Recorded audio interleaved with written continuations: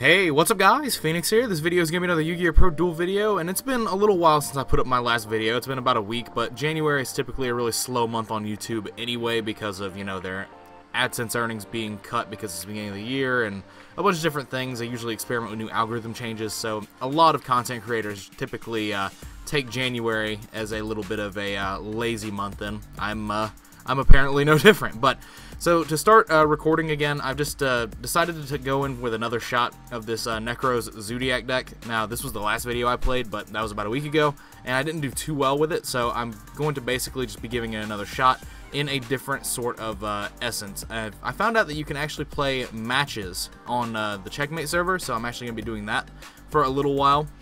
Now, I did get the results from that poll that I put up of uh, how I should continue uh, doing these sorts of live commentary duel videos, and I'm going to do a slight variation of what won. What ended up winning was the Discord server method, and uh, I'm going to do a slight variation of that. I might not end up making a Discord server, I might just end up making an exclusive public, uh, or an exclusive uh, private Facebook group for the people that do that. But there is a Patreon page that I am making for people who want to support me directly, which I'm currently working on setting up as of right now. It might be done and published and ready to be used by the time this video gets edited and put up, and if it is, you will see a link in the description or a link at the end of the video. But anyway, I'm not really talking about this deck too much because it's pretty it's pretty obvious and self-exclamatory, at least it should be.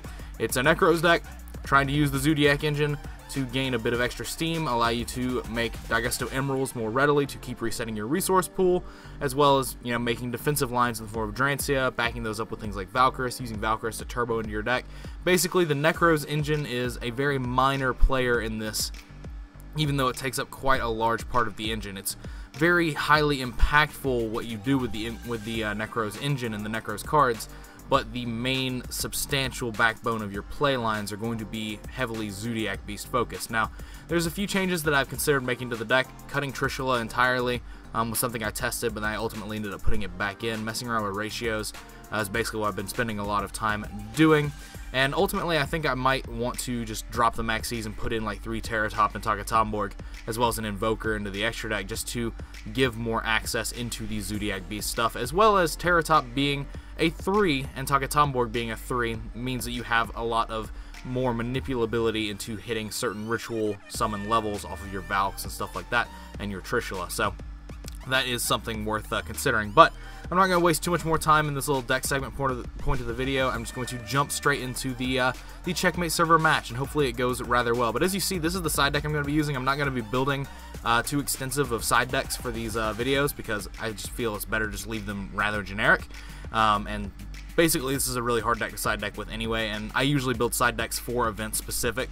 Um, like decks because like things change up until the last day before an event so I usually am a fan of building side decks very flexibly as I go uh, so that's that's going to be a thing there but I'm just going to have some generically good side deck cards in the form of like Denko and Twin Twister and stuff like that in the decks that I'm playing for these so that you can sort of get an idea of good starting points but anyway enough rambling on. Let us just jump straight into the first game, and hopefully this match goes well in the form of DevPro slash Yu-Gi-Oh! Pro's like checkmate server shared system not crashing on me as it has done in the past. But anyway, let's just jump right in. Alright, so we're in this under match format, so hopefully, uh, hopefully it doesn't crash on me like I said previously. Um, I've had problems in the past trying to play matches on DevPro in their ranked server.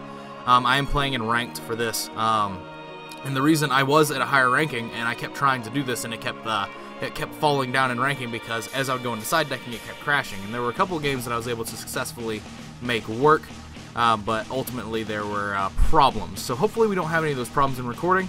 Uh, if we do have those problems, then I guess I'll just go back into jumping into uh, checkmate like single games uh, for the purpose of this video and all future ones because apparently people seem to like me playing on the checkmate server playing against randoms. And so, I mean, I'm more than willing, like, willing, Jesus, I can't speak. I'm more than willing to keep doing that sort of thing, but I'm definitely going to probably try and grind my way up into the higher tier of ranking, um, if that's something that people want me to keep doing, because of the fact that it's just going to make it so much easier for me to actually get quality content on demand rather than just, uh, rather than just playing through slogging, like, people that aren't really doing much with their play lines and stuff like that. But as of right now, I'm pretty happy with what I'm playing against. I'm playing against Zodiacs, and that's probably the only time you're to ever hear me saying that. Um, happy that I'm playing against Zodiacs. But uh, he's got the Avarice in his graveyard um, in the form of, what is it, Seasonal Direction, and he's also going to Emerald. And I think the Emerald here might actually not be correct, uh, because depending on what he puts back his Seasonal Direction, might not be live. Let's see. He's got a Bullhorn under this. He's got a Viper in his hand. Um, so I guess his Seasonal Direction might be live. And I'm playing with a new mouse, too. I ordered a new gaming mouse, but this thing is kind of, like, ignorant in the fact that it just, uh, it's really really sensitive, and I'm not used to that yet, so expect a lot of random clicking to happen. Um, and also, its click is very loud, which is not something I was expecting when I bought it, so it might actually just be something that uh, I can't really do uh, much with. But what I am able to do is I'm able to go straight into a unicorn to shut the Drancia off, and then I can go into a Valkyrus off of that. Um, and then I'll be able to tribute the Molmorats make an Emerald, then Instant Fusion for Norden, bring the Emerald, uh, bring the Molmorat back, and uh, do that sort of stuff. So I've got a really extensive play line, uh, but basically I've got to kill these first. That's the that's the first the first and foremost thing. Now if he's smart, he's already like he knows that the Drancia is going to basically be irrelevant anyway. Oh, Dimensional Barrier. Okay, so I'm actually just going to lose to this. so I can't play my turn. Well, ain't that a piece of shit. Alright, well, I could Instant Fusion into Norden and do, like, almost nothing with it because the Drancia is still there. Uh, yeah, this is... Ooh. That's, that's so... I, I lose the single trap. That's, that's not something I'm happy about, so I guess I'll just try to play this out. But, I mean, I'm just gonna get uh, Drancia now, so that's a problem. This was the last card I was expecting it to be down there the single trap in the form of Dimensional Barrier. So the rest of his hand isn't even back row, but I just lose this one. Um, so I guess that's fine. I mean, it's not fine. Let's be completely honest here. It's not fine. I wonder if I could just uh, uh, zoom my way into Utopia the Lightning and uh, zoom into Battle Phase and see if he doesn't Drancia me, because then he won't be able to Viper. Uh, because DevPro's uh, DevPro's command system is uh, is or not DevPro. I keep calling it DevPro. It's Yu-Gi-Oh Pro. It's 100% Yu-Gi-Oh Pro, the Percy client. So yeah, I just lose here. There's nothing I can do about it. So I'm just to not waste any time, and I'm just to go straight into the into the side decking for the next game. So what I've got to deal with here is I've got to deal with um, I've got to deal with dimensional barriers, but he's also playing Zodiacs, so like I want to use Max C in the main. Uh, so I've got to deal with this in some way, shape, or form. I'm going to be going first, so honestly this deck is rather kind of built to go first. Um, the only thing I would probably change is the max C's for Twin Twisters, just so that I can have something to access to answer back row. Um, since I am going first, and I'm definitely going to keep the emptiness in. So yeah, I'll definitely do that. That's a that's a that's a good swap that I think is fine. Um, if I was doing something like Denko's going second, I'd be taking out like a Senju and the Viper, um, just because I don't want too many conflicting normal summons. But hey, it actually didn't crash on me. Good, good, good, good. And I get to start with uh, Zodiacs, so that's that's nice. That's nice and neat. So what we'll do is we'll uh, we'll just do the elemental triangle uh, nonsense and go up into the multiple uh, the multiple uh, Xyz play lines that you have access to. So this should be fine. Now the thing is that I don't have anything other than a Valkyrus as far as defense, but I guess that's fine because I'll have Drancia as well. So there is that as a like astute ability to uh, to be able to protect the Drancia that I'm going to have on board. Um, but I'm not going to be able to do anything as far as... Well, I could summon Valkyrus, but then that would mean that I'm not using... Uh, I'm not using these to make Emerald, which would be kind of a ball ache, if I do say so, in the, uh, in the like most uh, most honest way. But so we'll search for the Viper, because uh, the Viper is like necessary. I don't really think it's necessary, but it's just an extra card, so you might as well play it.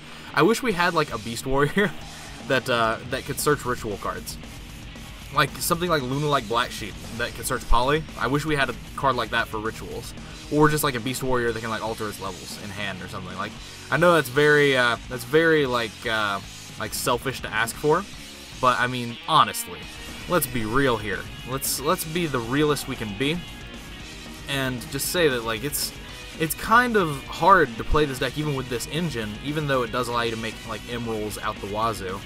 Um, it's just it's not something that's overly powerful because of the fact that the engines don't mesh that well, even though they do operate on the same basis of resetting resources.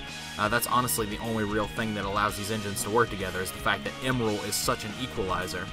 Uh, and then Drancia is just a good defensive line. Uh, but that's an Exa, so that's actually, whoa, that's actually really good. Yo, okay. So what I get to do here is I get to use this mirror now, um, and I can summon the Valkyrus, and I can remove this from grave and tribute this from hand to summon, and then the Exa can use its effect. So now I'm losing access to the Valkyrus as a defensive line in hand, but I'm using it as an accelerant for my play lines on board. Uh, so that's that's the biggest thing here that I'm trying to do. I'm trying to dig into uh, into more uh, like powerful things. Now, uh, I'm gonna get rid of. I want to keep the Trishula in case you try to Drancia this, so I'm gonna get rid of these two cards because I can um, I could shuffle this back into the deck. Well, no, I think I just want to get rid of the Viper. Yeah, I'll just get rid of Viper. It was free, um, so I'm not too worried about it. And I've got that as well, so I can instant fusion into another Emerald if I wanted to um, and that would reset my resources even further. Uh, but I think I'm going to just keep it as it is for now because I can just use the Drancia as a defensive line. I really wanted to get into something like Twin Twister or Emptiness, but ultimately that's not going to be what we got. So we'll just have to work with what we got. But I do have multiple Momorats left in the deck, um, so the Elemental Triangle here is going to be really good. Um, because I'll be able to Emerald, and then I'm basically not even worried about doing the Tigris reattach Momorat play on this, or even if that gets stopped, then I have something Elemental Triangle that I can use to get free resources, or I can use Elemental Triangle um, to put Drancia back. Oh, okay. So see, the Drancia is now not even a defensive line because of uh, because of that. So that is an issue.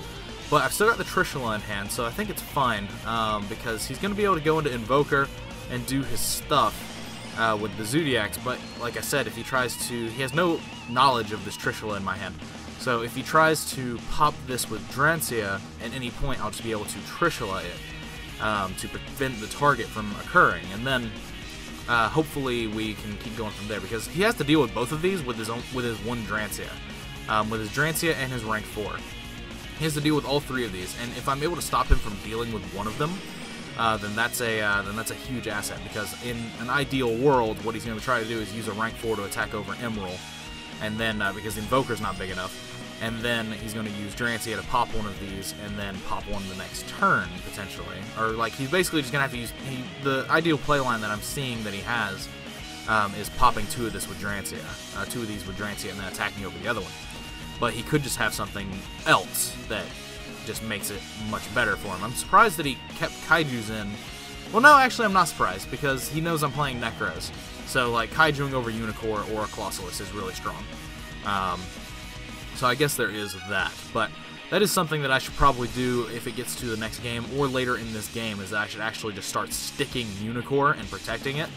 Um, because of the fact that I could just prevent this entire Zodiac play from happening. Um, that's actually something that, for some reason, I didn't really focus on my thought process until just now, where I could have literally just put Unicorn on the board and protected it. And like that's that's one of the easy things this Nekroz deck is capable of doing, is putting a card like Unicorn or Clausolas out and then protecting it. But so he's got the Bullhorn search for Viper, I'm assuming, and then he's gonna do this. Now I have no knowledge of what other what other things he's playing. He's probably just playing Zodiac Kaiju, uh, honestly, but I have no knowledge of anything that he's playing um, outside of the Zodiac Beast engine and the Kaijus. So it could just be a bunch of traps. But then again, there was apparently a ton of monsters stuck in his hand on the previous turn because of the fact that like he, or not the previous turn, the previous game, because he only set one card even after resolving Emerald. So he had like four cards in hand, and none of them were things that you would that he would set. So they were the spells that did nothing, which I still think you probably set them just to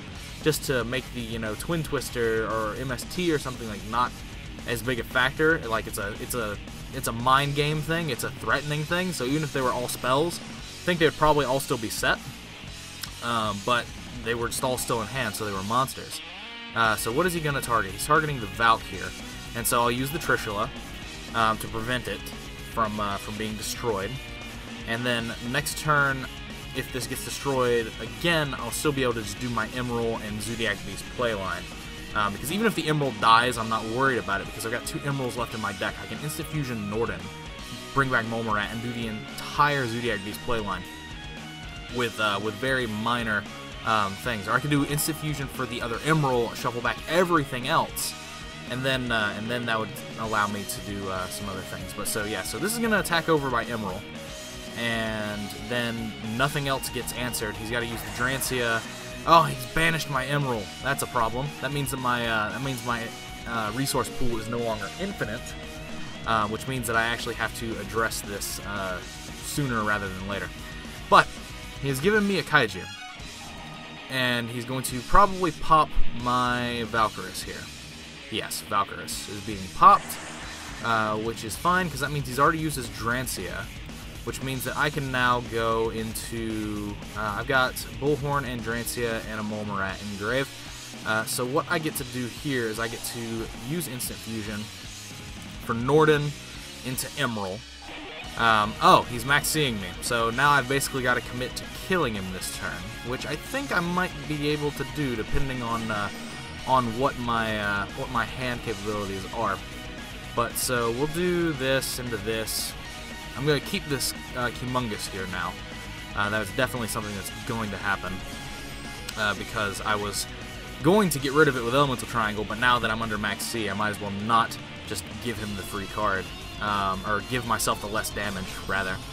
Uh, but so I've got this, which I can use for some extra damage as well. So there's there's multitudes of things that I can do. All that really matters is whether or not I get um, like Veilered. That's the biggest thing that's gonna be a um, a problem is if I get Veilered. I haven't used my normal summon yet, um, so we'll put these back. Um, I'm not really too concerned. What is this? Oh, it's DD Crow. Man, he's playing all of it. Alright. Well, okay then. So we'll activate this and we'll use this to pop itself. Um, and we'll bring out a Molmorat. So I'm playing with two Molmorats now, which is problem. Uh, but I can put Viper under Drancia, or I can put Viper under Tigris. I could do a couple of things, but yeah. Uh, we'll do this. Uh, this allows me to summon another Molmorat from deck. Um, so, yeah. Okay. So yeah, we'll do that. We'll summon another Molmorat from deck, um, just to use as a resource, I guess. It doesn't really do anything here, though. That's the thing, it just doesn't. Uh, but yeah, I'm just going to lose this one. This is 100% a loss for me. Let's just be real. Um, so we can activate this. Uh, I've got to kill the Drancia. And yeah, I'm, I'm just I can't do anything without um, without the Molmorats. yeah, this deck sucks in the face of the literal Zodiac Kaiju deck. It probably sucks in the face of everything else as well. Uh, but I mean, damn, like it's it's just something I'm trying to play for fun. It's something I'm trying to experiment with. Because I mean, experimentation is how you find innovation. Uh, but so from here, like, uh, I don't think there's anything worth doing here other than just ending my turn. And at this point, he's got like he's got his resource pool reset. He still has that seasonal direction. I think. No, that was last game. I'm tripping. Uh, but so like based off what he has access to now in terms of cards in his hand, um, is going to be whether or not I win or lose this game because depending on what goes on, I interrupted Kaiju Slumber. All right. As if things weren't already not getting as bad as they could possibly be, um, I'm being given a smaller kaiju. So yeah, I'm just getting the I'm getting the diddle this game. I lost game one strictly to a one. I, I strictly want, lost game one to one card in the form of dimensional barrier, um, and like that's another just unfair thing about like trying to play a deck like this uh, because like I said in my uh, card review way back on um, on dimensional barrier itself is that the card itself is incredibly unfair to fusion and ritual summoning. Whereas every other mechanic, you basically have to flip it preemptively. Against pendulums, against synchro, against Xyz, you have to flip it preemptively, and it's a minus one to the user. In the in the uh, in the benefit of ending your opponent's turn. Now, for uh, for playing it against fusion and ritual decks, you have to play a fusion card. In most cases, that doesn't stay in your hand or that gets burnt if a dimensional barrier is chained to it. So it immediately becomes a one for one for the user of dimensional barrier while also ending your opponent's turn. Um, like that's that's just incredibly unfair. Like card quality like that probably shouldn't exist in the game of Yu-Gi-Oh because of just how incredible it is in terms of just being like, yo, uh, we're just gonna have this now, and it's just not gonna be something that you uh, that you have any sort of say in the matter of. Ah, Gaga Samurai. Okay, so yeah, I'm losing this turn. 100%. Um, he normal summoned Thoroughblade though, I think. So uh, because of that, he's not gonna be able to like normal summon Viper. So he is literally just playing Zoodiac Kaiju. Um, he's playing like the the standard like nine card lineup of Thoroughblade um, and uh, Vipers. Is Thoroughblade even its card name anymore? Um, yes, I would love to check the field just to take up his time uh, and yours because I want to go see. It is still Thoroughblade. Okay. Uh, no, I do not want to check the field. Um, I'm gonna lose. I'm gonna take it because this is 38 and 33. So yeah, that's 71. So yeah, I lost. Um, 100%. So yeah, I'm not really too sure what I'm gonna continue doing with this deck, but I think I'm gonna keep playing on the Checkmate server in match format because while it makes the videos a reasonable length because they can be two games or three games long, it also makes them a lot more focused, and that's something I've always been a fan of in the past. Is you know focusing things, making them uh, making them very focused into how they are and how they're functioning. So while it isn't to get multiple matchups, um, it is still just you know a decent thing. But so I I just actually lost this one, so I lost ranking because I lost this one, not because I crashed, which I'm perfectly okay with. But I'm going to probably grind a bit more um, in the match format, or at least in the uh, in the single uh, Checkmate server games, just to get up in ranking a bit. And then I will come back and film some more videos when I've gotten a little bit higher up. But it seems like I'm in a good area if I'm playing against Zodiac Beast Kaiju. So I'm playing against real things, so I guess there is that. But anyway, I'm going to leave that here. As always, guys, thanks for watching. Let me know what your thoughts are in the comments down below. And if you like this video, definitely be sure to like. And if you're new here, maybe consider subscribing. It helps me out a ton and helps the channel and community within it grow and it's a really good way to show support if you like the stuff that you saw. But anyway, check out the links on screen and maybe go check out my channel itself to find more videos you might also like. There's a thousand plus uploads over there, so if you can't find something else you also like, I would be incredibly surprised. But as I've already said, thanks for watching. There might be the Patreon page ready for uh, use, and if it is, it'll be on screen right now. A link will be to it, as well as there'll be a link in the description. So if you want to support me directly and have find it in the goodness of your heart to donate and pledge, some support, then definitely go check that out. But other than that, thank you for your time as usual, and take care, guys. I will see you in the next video.